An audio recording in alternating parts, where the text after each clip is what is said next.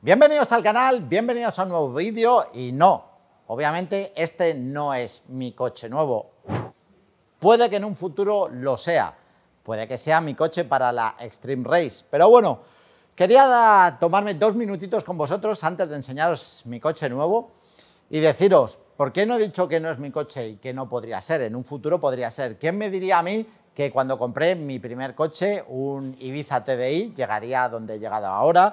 O cuando compré el León FR MK1 1008 Turbo porque no me llegaba para el Cupra y tampoco para el S3, o cuando compré la primera vez que tuve dos coches, que compré como segundo coche un Fiat Uno Turbo, iba a llegar a tener los coches que he tenido y el coche que voy a tener hoy, que para mí es el mejor coche que ha habido nunca en mi garaje. Podemos discutir de muchas cosas. Así que solo os quiero decir una cosa, todo el mundo quiere dar pelotazos, ser influencer y hacer un montón de cosas. Bueno, pues yo os digo que con mucho esfuerzo y trabajo, a lo mejor no llegas arriba de todo, pero seguro que mejoras tu vida, como me ha pasado a mí, que muchos pensaréis que a lo mejor, pues no sé, eh, a mí me regalan las cosas, tampoco soy de familia humilde, soy de una familia normal y corriente, como otra cualquiera, pero mirar dónde he llegado. Así que si he conseguido llegar aquí, ¿por qué no puedes llegar tú? Así que vamos a utilizar la magia de YouTube para que os enseñe ya cuál es mi coche nuevo. ¿Lo queréis ver? Pues venga, vamos a por ello. Y el momento del vídeo que todos estabais esperando, este de aquí, es mi nuevo coche. Eh, no, este, este, este no es. Corta, corta, corta. Vaya con la magia de YouTube. Parece que últimamente está fallando, pero bueno, ahora sí, por fin. Lo habéis preguntado un montón. ¿Qué coche pensáis que era? Bueno, pues aquí tenéis. Este es mi nuevo coche. Que no, que no, que no se hemos vuelto a equivocar. Corta. Madre mía, qué mal estamos hoy. Y ahora sí, ya fuera de bromas, se ha especulado muchísimo, como os he dicho, como habéis visto antes en el vídeo, ya se acabó. Este es mi nuevo coche. A ver qué os parece.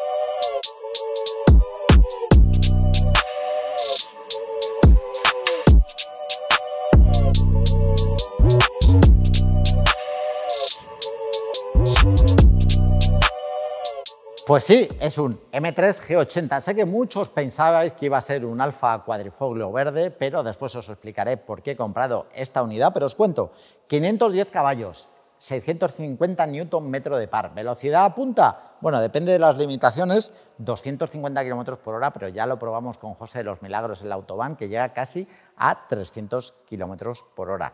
Aceleración de 0 a 100, 3,9 segundos. Y una cosa muy, muy importante que es propulsión. Yo no quería la unidad 4x4. Una cosa que no me gusta del coche, 1800 kilos, pero bueno, es lo que hay y es mi daily. También os digo, caja ZF de 8 velocidades y unidad nacional único dueño, 8.000 kilómetros. Pero antes de hablar de todos los extras que tiene, vamos a hacer una cosa muy importante. ¿Sabéis qué es? Chequear el coche a fondo para saber que no tiene ningún problema y que realmente voy a comprar lo que los chicos de Aguilera me han dicho, aunque confío 100% en ellos.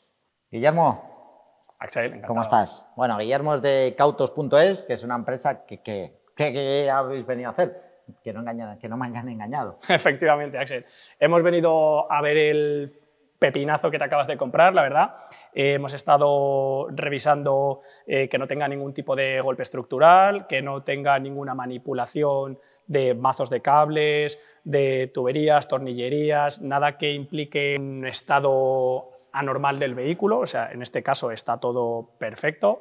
Hemos metido la máquina de diagnosis, hemos estado comprobando el kilometraje de las distintas centralitas que en este coche registran los datos y también además el tiempo de uso, cosa que eh, concuerda perfectamente con los 8.000 y los apenas dos años que tiene de vida mm. el vehículo que siempre hay una pequeña diferencia, o sea, que puede haber una centralita que diga que tiene 8.210 y otra que diga 8.190 y es Correcto, 8.400, o sea, siempre hasta un 5, un 10 en algunos mm. modelos de vehículos puede haber un 5, un 10% de discrepancias en, ¿Cómo está cada el coche?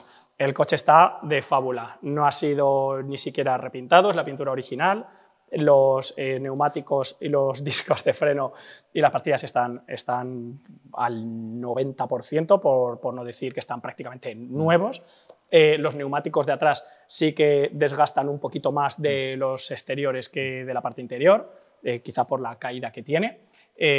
Ya, ya, lo desgastaremos.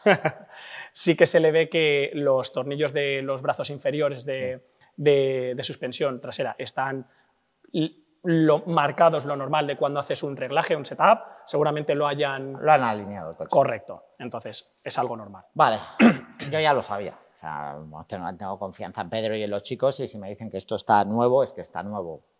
Pero igual que lo he dicho antes, ¿cómo está el percal?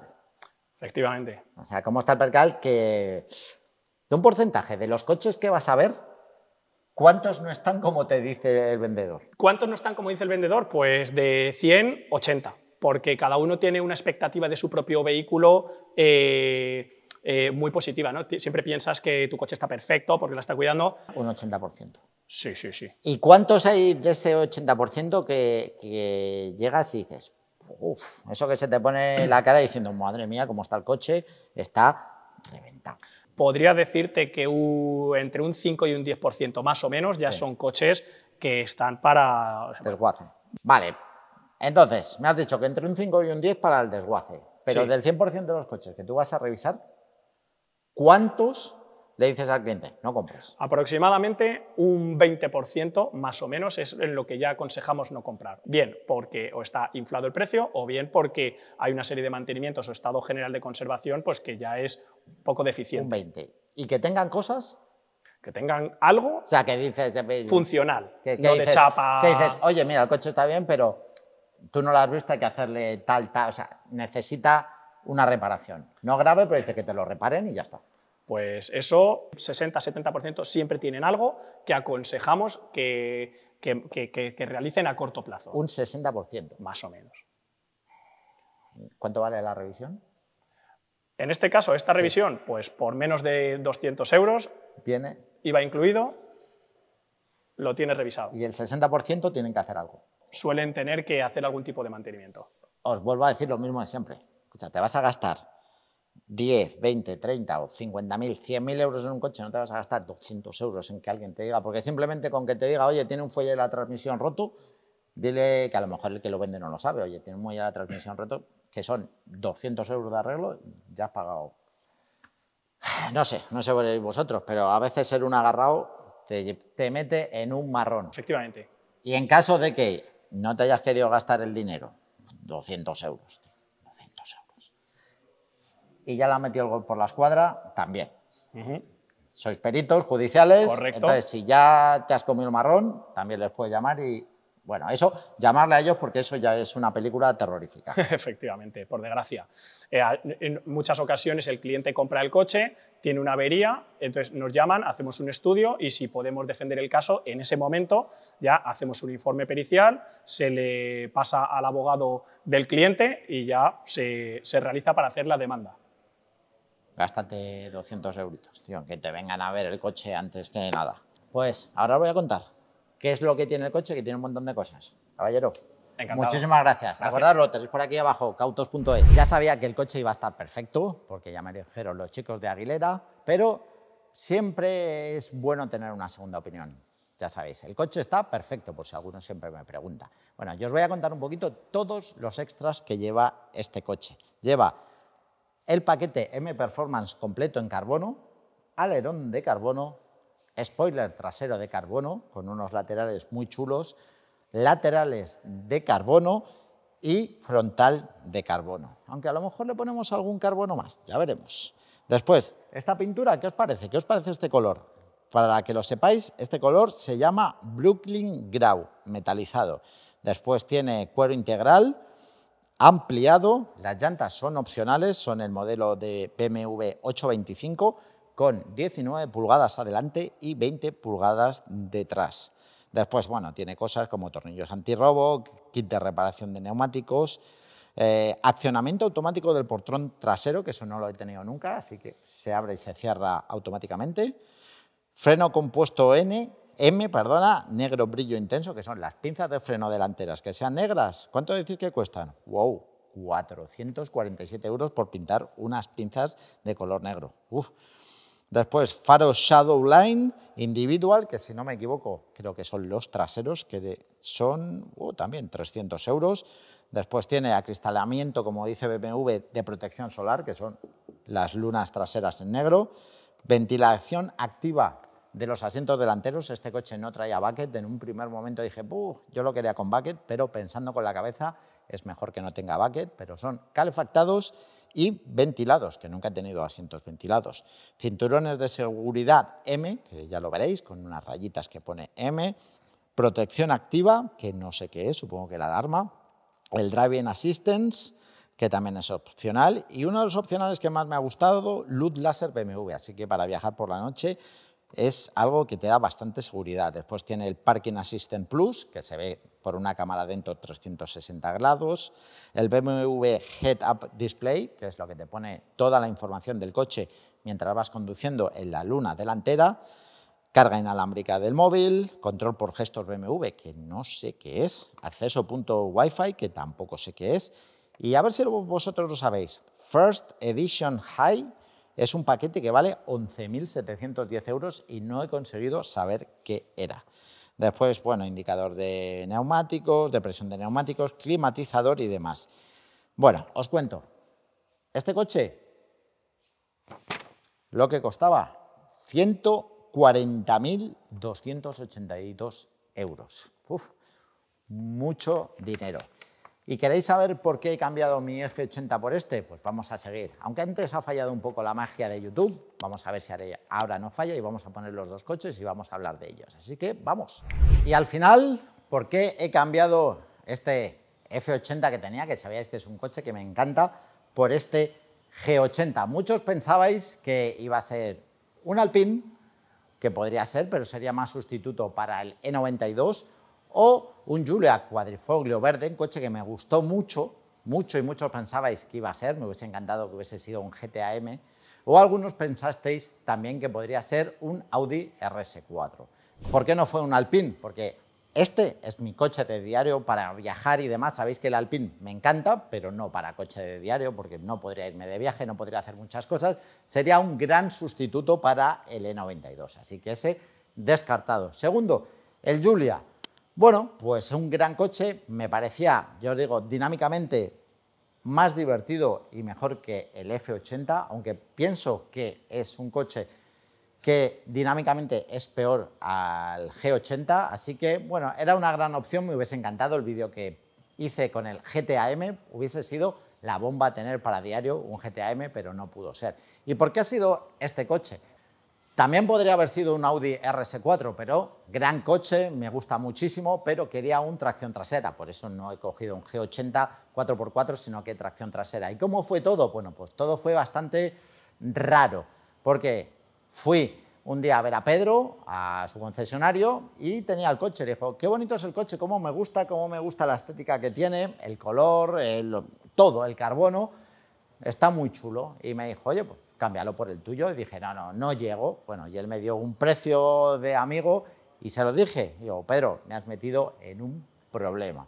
Así que empecé a maquinar, hablé, ya sabéis, con los amigos de Oden, que siempre estoy por aquí, y al final todo se cuadró, una, digamos, mm, algo bastante difícil de cuadrar, pero al final, bueno, pues se queda aquí este coche que me ha dado muchas satisfacciones, que muchos me diréis, oye, pero no lo has disfrutado. Bueno, me ha faltado subir a Nürburgring, pero ya os digo que lo he disfrutado bastante, lo he metido bastante en circuito y el coche, como sabéis, pues ya sabéis cómo está.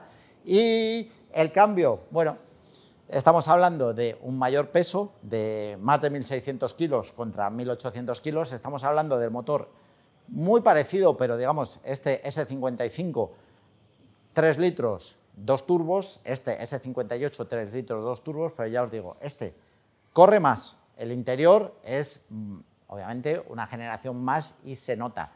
El tema de la tracción, este es bastante más dócil, este es un poco más salvaje, aunque a mí me gusta salvaje, este es bastante más dócil.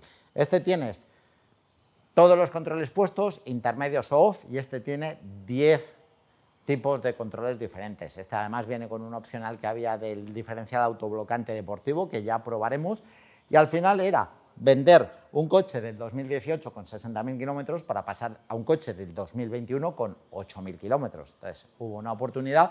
¿Vosotros lo hubieseis cambiado? Si no, ¿qué os parece la parrilla? Al principio hubo mucha controversia y la gente decía que era muy fea. Yo desde el principio dije que era muy feo y cuando lo vi ya en el año 2020, cuando estuvimos con José de los Milagros probando los M's en el Jarama, ya dije, ojo, mirarlo en persona, que en persona el coche mejora mucho. ¿Qué le haríais? ¿Qué le cambiaríais? ¿Qué le quitaríais? ¿Qué le pondríais a este G80?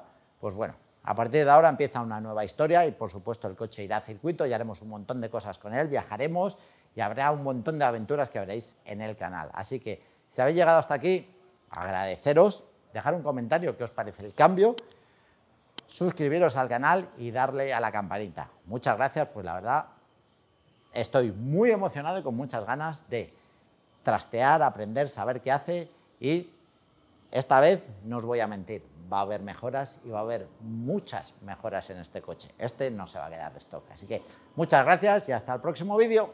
Adiós.